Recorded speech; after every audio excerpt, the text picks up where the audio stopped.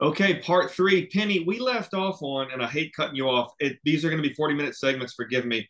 We cut off at you were just starting to elaborate on Area 51, Dulce, tunnels that connect. If we could just try and dive right back into that and just uh, hit a couple other subjects.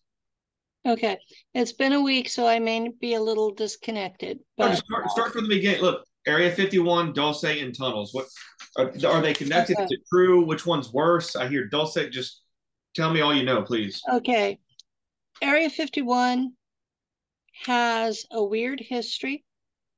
Uh, I've I've been to the gate. I have not been on the base that I have memory of. So I can't tell you what's actually there, but I do know that in the occult circles, they discuss Aleister Crowley and Jack Parsons going there and doing some sort of ritual where they um, summoned a demon. I can't remember the name of the. Was L. Ron Hubbard involved? Possibly. And they summoned this demon, and it looked very much like your classic gray. And at that point, a lot of weirdnesses started. And some of the people that I work with privately have had questions about how that impacted them. So it's something that has affected individuals, not just the country or the space programs or any of that stuff. Now, that's about the extent of my knowledge of Area 51. I can talk about uh, oh, what was his name? There was a man who was supposed to have worked there. Um, the name will eventually come. Well, there me. was Bob Lazar and then Phil. That's him. Bob Lazar. Bob, Bob Lazar there was evidence that was then removed that he had actually worked there. And he was talking about working on a captured device. Um, when I saw his schematics for it, it looked like a Haunebu to me, except that they had made the seats much smaller. So that's um, that's like continuity of story. He talks about a uh, engine that's that we have since found the the element 115 that he talked about um, and that it does perform the way that he said it would uh, other stories that I've heard were that the scientists from Area 51 were required to burn waste materials in a pit, and that nearly all of them have died from the poisoning from that. So uh, that was one way to cover their tracks, make sure nobody could talk. If they're dead, they can't talk. That seems to become be becoming a standard military thing in our bases is they burn these toxic wastes and it takes out whoever that they had do the burning that's that's becoming standard policy on our military bases so that's not shocking that it would happen there too um that pretty much covers what i know about area 51 Okay. What about uh, tunnels underground that are maybe vacuum or left by uh, ancient civilizations? Um, there are tunnels all over the world. Can we elaborate on them? Talk about sections of them. They're how old um, they are. Well, there's some in Cappadocia that are are so close to the surface that people have been building houses and broke through and found them. There are some in Scotland, and they found that they're connected. There have been some collapses that blocked areas, but when they worked through the the ceiling collapses, they found that they connected to the ones in in Eastern Europe and the Middle East. Um, these are really ancient. I mean, really ancient. They can't exactly date them because you can't carbon date rock but some of the the remains that they found in there um, pottery, leftover food, uh, residue from from wine presses. They've they've been able to date it to before the last ice age. So these are these are evidence of a cyclic disaster that forced people underground. And they're worldwide. They connect under the Atlantic Ocean. They so um, they're in both the all of Eurasia, parts of Africa, and into at least North America. And we hear rumors about similar things in South America. And the ones in South America connect to Antarctica. So they come up in different spots.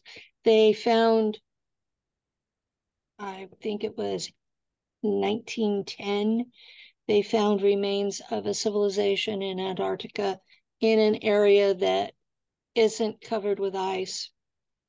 And they carbon dated those to 20,000 years ago, which would have been two ice ages ago. So uh, we have an ice age approximately every 10,000 years. Wow. So we're getting due. Um, but yeah, that's what the tunnels are about. Some there are new tunnels being dug all the time. Um, Phil Schneider talked about he was on a crew that was doing that, and they accidentally bumped into Dulce Base. Uh, Dulce Base is a it's a long-nosed gray base. They have government permission to be here and in exchange for doing biomedical research for the Air Force, they are allowed to do whatever they want to whatever humans they capture. There have been as many as 30,000 humans, Americans, held captive in that base and basically tortured or used for reproduction, and their babies were tortured. At one point, President Carter got really angry and declared war on them. But they were still allowed to work after that. Um, when was it? 2017. Uh, I was being attacked by a maser in my wall. And we've since put metal to block it. We didn't take it out because we figured they would just put in another one. But it was hitting me in the back. And I used my psi abilities to follow the energy trail to who was doing this to me. And it was one of the, the long-nosed grays sitting at a terminal in Dulce Base. And I psychically accessed the computer system at there and told all the humans to evacuate. And I'm sitting there being shot in the back this whole time. And I waited 10 minutes for them to evacuate and then used, okay, I'm chipped into the planetary defense system. It's an orbiting weapons platform. And I can pull down a menu and choose a weapon. So I chose the smallest weapon I could find on the list. And I chose it because it would focus at a point underground instead of just hitting the top. And I blew up the ET cave that's under the base, Pluto. There was an earthquake, but it registered approximately 200 miles north. And I had Ilyana, the star traveler, and Boris Kasanoff, who's in Moscow. The two of them remote viewed the site for me. I didn't tell them what I did. So they came up with different results. Boris got exactly what I did and basically told me, good job. Ilyana said that I destabilized it enough that their earthquake machine wouldn't work anymore. So uh, she has a presentation on her YouTube from then where she remote viewed the site and she did a presentation on it. And uh, so that's my documentation that I did it. Two years later, I remote viewed the site and the Air Force had already rebuilt it. So this is definitely a government sanctioned operation. And this is part of why I don't believe the QAnon folks that Oh, children, That starts That for about the first week or two, and then it gets hijacked by the feds. You know? yeah.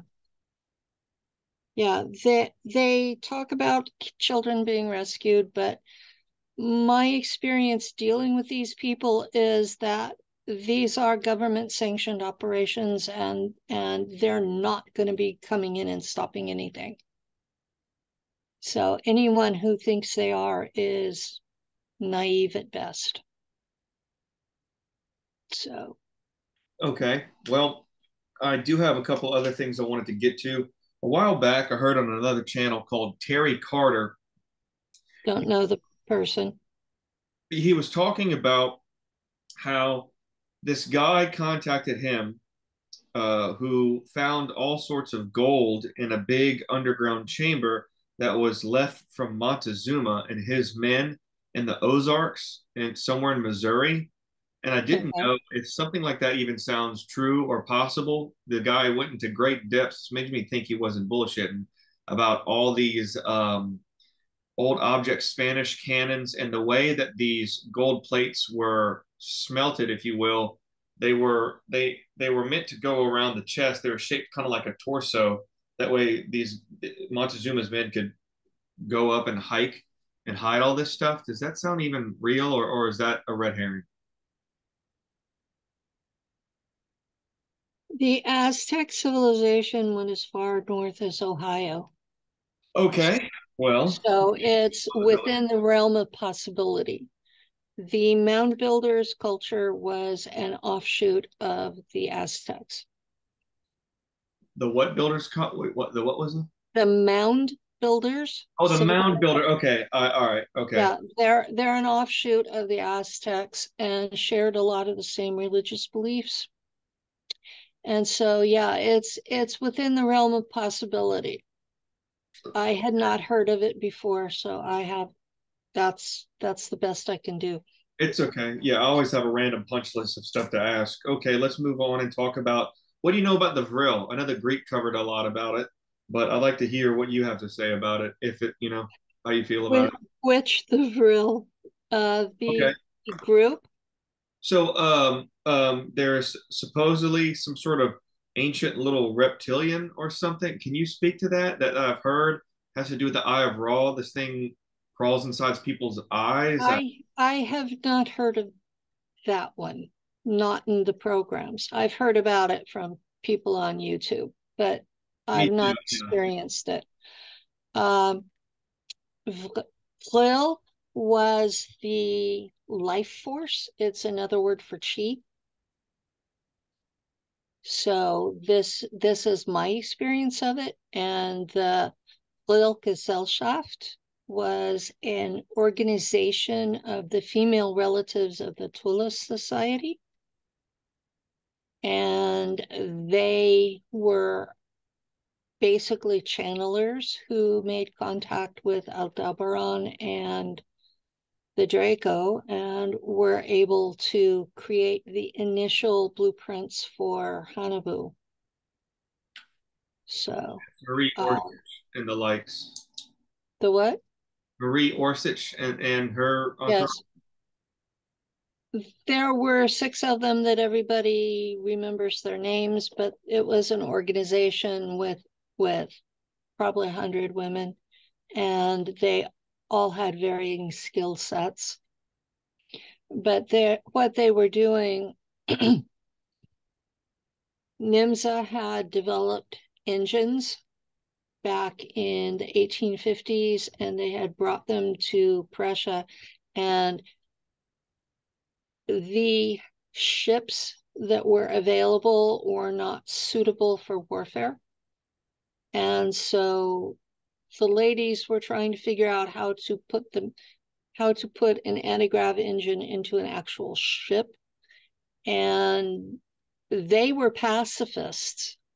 So it it was interesting when when the chancellor tried to nationalize their work and they basically told him to f off and allowed him to allowed him to send some of his men to watch their work and copy the blueprints but they he what they were not to touch the actual stuff that the ladies had. That brings me to another uh, uh, buzzword I wanted you to, to break down for us. And I'm sure I'm not saying this right. Is it this subcategory to study the occult with the Nazis called the Anunnaki or what? Uh, what the Ahnenerbe. Okay, so I said it roughly right. What is you, that? You were close. What What is that? Um, it was an attempt at an official scientific study of the occult rather than an occult study of the occult. It was they were trying to find the science that was buried in the mythology. You know, okay. you know that that sounds that sounds strange because you know occult occult only means hidden. It doesn't mean evil necessarily. So there was a time frame when mathematics was considered occult and there was a time frame when for the the serf classes that reading itself was considered occult so that's all it is is this is these were writings that have survived the centuries and they were looking at them from a scientific point of view like what are these people really describing? And because a lot of it was science that was written up as religion so that the folks in charge wouldn't burn it all. But there's there was a document from India that that showed how to build a vimana and even how to drive it. There was a there were documents from from Tibet and Nepal that that backed it up. There were documents from China that showed how to do other things. Uh, there's a lot of technology that's hidden in these documents. In fact, um, that the Egyptologists are finally coming to understand that the squiggle lines that they've always interpreted as water actually means energy in mm-hmm. Egyptian hieroglyphs. So it's uh, it's an exciting time to be watching these things. Wow, you covered a lot of things that I wanted to get into. Um, uh, instead of going to my next point, I'll work around it and we'll just segue into the Egyptian culture. Um, what was before it, and was it simultaneous with this Atlantis Lemuria? Uh, and also, too, have you ever heard of a culture called the Etruscans? Oh yeah, the Etruscans I know about. Okay. Uh, the Etruscans are like the original civilization of the middle Mediterranean. They had Sardinia and Italy, and they had ties to uh, Troy in in uh, Turkey, and uh, the Latins were one of their tribes. The Lat the Latins are why Rome spoke Latin, the Roman Empire, and Latin became the the underlying core language of European history. Uh, they were um, originally pagan. They had a civilization where women were equal to men. They had their religion was based on magic. Uh, there are at least two current secret societies that are based on their beliefs. What are they? Uh, I can't tell you that. Oh, not a problem. Um, and um, they keep telling you that their language is not readable, but it is. There are people who can. Uh, I know several folks who can. And uh,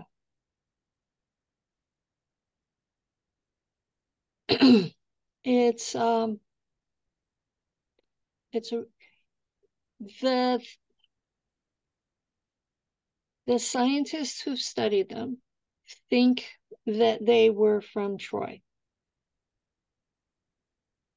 And yet they kept prisoners from Troy and used them as sacrifices. And this is documented in their funerary um, art that they would kill prisoners from Troy as sacrifices in funerals. And so um, I'm thinking they were related, but not the same.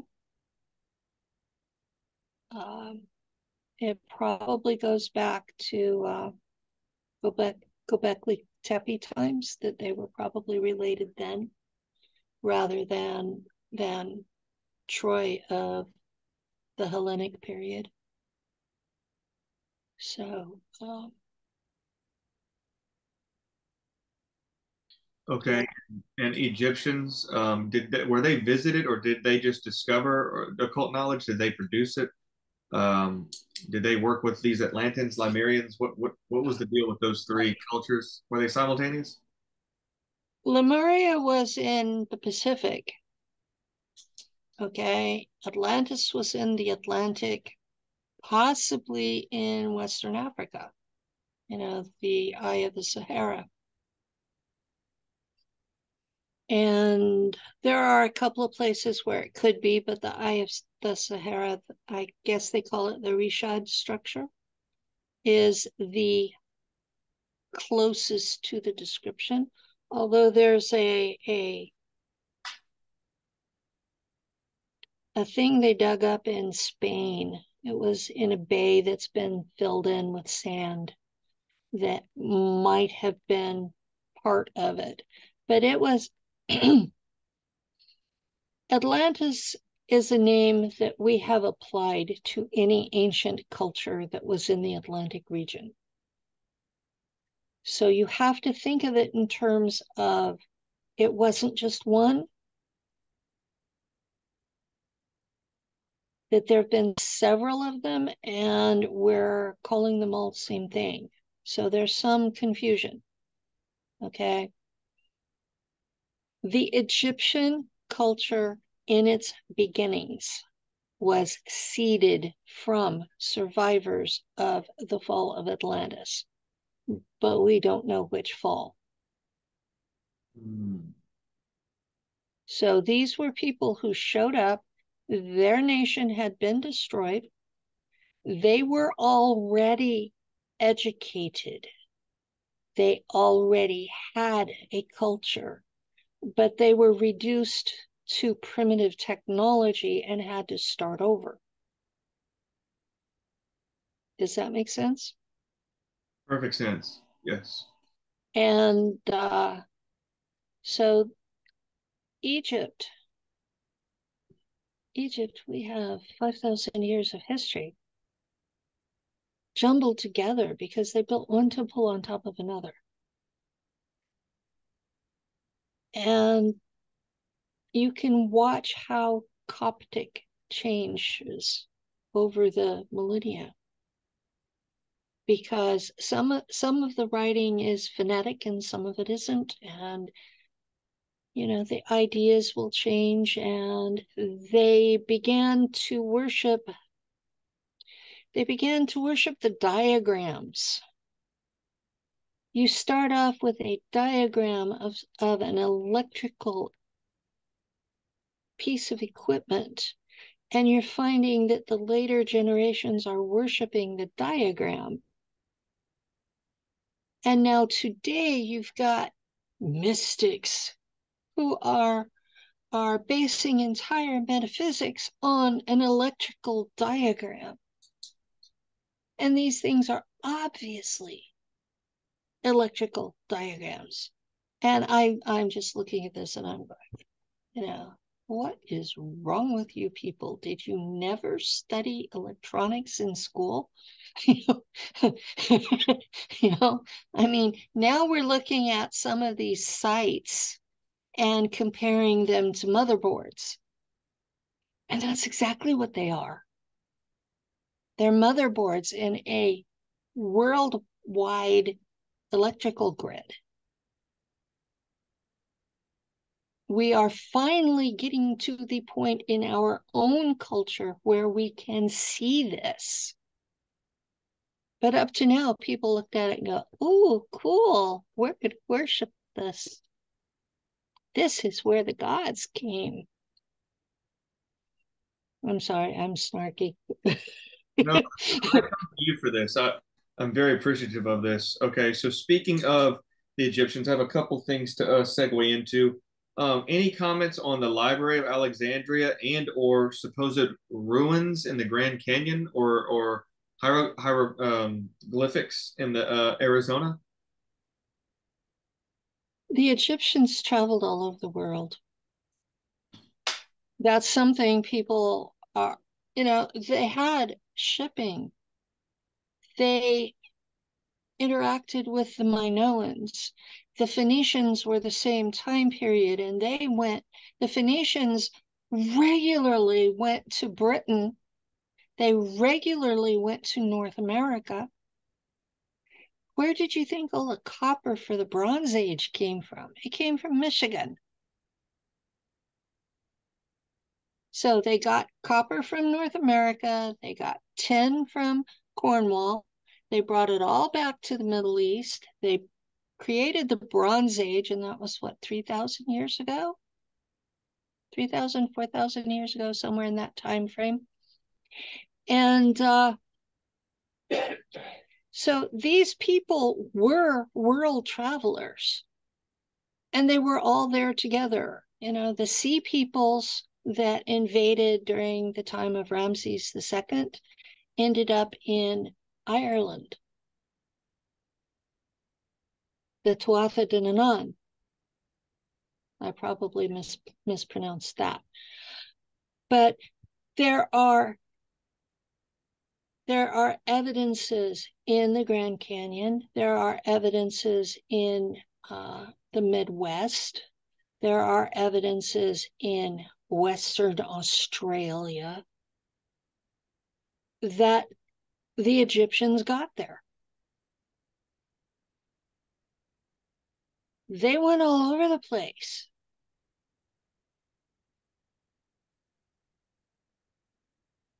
They were not, you know, we have this idea that they were primitive people, and they're not. Okay. Well, um, is the Library of Alexandria even significant, or the Dead Sea Scrolls, or is that all just hype? The Dead Sea Scrolls were the writings of the Essenes who were a religious sect in Judah, Judea, at the time of, of Jesus and John the Baptist. And Jesus and John the Baptist were members of that sect. So, yeah, if you're going to understand the New Testament, you need to understand the Dead Sea Scrolls to have the context of the cultural context of where they came from. Um, the Library of Alexandria was burnt first by the Romans and then by Napoleon. And it's probably the greatest loss of information about the history of the world that we've ever had. You know, uh, some of these folks out there are talking about that we're a species with amnesia. The burning of the Library of Alexandria is why. They had the records going back all the way to the end of the last ice age. Do you know how much stuff we've lost? It boggles the mind. You think it might have um, been done on purpose, and or that these documents or scrolls or whatever was in that library was taken and then burned, on, uh, you know, and then kept in underground or secret societies? I think some were taken. The cherry pick. They were cherry picked as to what these people wanted to keep. And my feeling is that a lot of them are in the Vatican Library. That that okay. I was going to bring up Leo Zagami in the Vatican next. Let's just let's just touch on it while we're here. Why would the Vatican have a vault? Why would um, I've heard rumors of a gray pope, white pope, black pope, and red slippers of human skin. I've even heard a guy, uh, what Alex Kyer, talk about the elevator operator of the Vatican vault, saying that there's glowing rocks from the pyramids and and all sorts of foil that you if you crumple up, it'll pop right right back to its shape from crusades. I mean, I don't know if any of this is true. What can you debunk or comment to or just talk? I've never been there. Okay. Mm-hmm. I've been out of the United States to fly over Canada to go to Alaska, and I've been to Tijuana a couple of times. Tijuana's in Mexico. Otherwise, I have spent my entire life in California. So, what I know is from reading and from the internet, I have not been to Italy. So, I haven't seen what they have but I've heard incredible things about their collection from people who have been there. What can you divulge that is the most crazy or, or ancient? Uh, they're built on top of a necropolis, and they claim that that the uh, that St. Peter's Basilica is built on top of his actual grave. Um, and they have a lot, a lot, a lot of stuff from the early time of the church and from Rome and from the Etruscans. They basically went through and collected all kinds of stuff now, people will tell me that the period of time from 400 to 1400 didn't exist.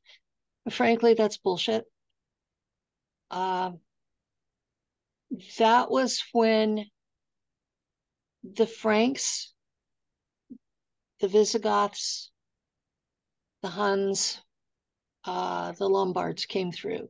What they don't tell you is that there were a series of volcanic eruptions in Iceland that basically destroyed crops for off and on for 400 years. And that in the middle of this, they didn't have enough to eat. They had several waves of the bubonic plague and measles and mumps. That by the time the Lombards got into Italy, a city of Rome that had been 2 million people at its height was down to 25,000 people. And most of them didn't know how to keep things running. The Vatican was performing the administrative functions for what was left of the Western Roman Empire.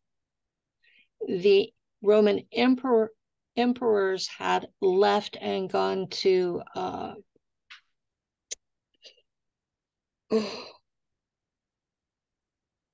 Spoleto, uh, Vincennes. There's another city that they moved to. And then they moved to Istanbul because the volcanic eruption had not screwed up Turkey as bad as it had Western Europe. But by that time, the plague had gotten to Turkey. So it was it was a mess. We in that that thousand year period, we lost two thirds of the people of Europe. And so when the Germanic tribes came in, there wasn't this big war where everybody's murdering everybody like they're presenting it in the media today. They were walking into a to a land where people were sick and dying, where the the infrastructure had collapsed, where the few people that were left were trying to hold it together. And they just basically, the warlord would walk up to the guy in charge and say, I'm marrying your daughter and taking over. And the guy said, Great. So there was continuity. You had Merovingian kings building basically colosseums in places like Orleans And the people, the basic population, continued to speak Latin or their local version of it.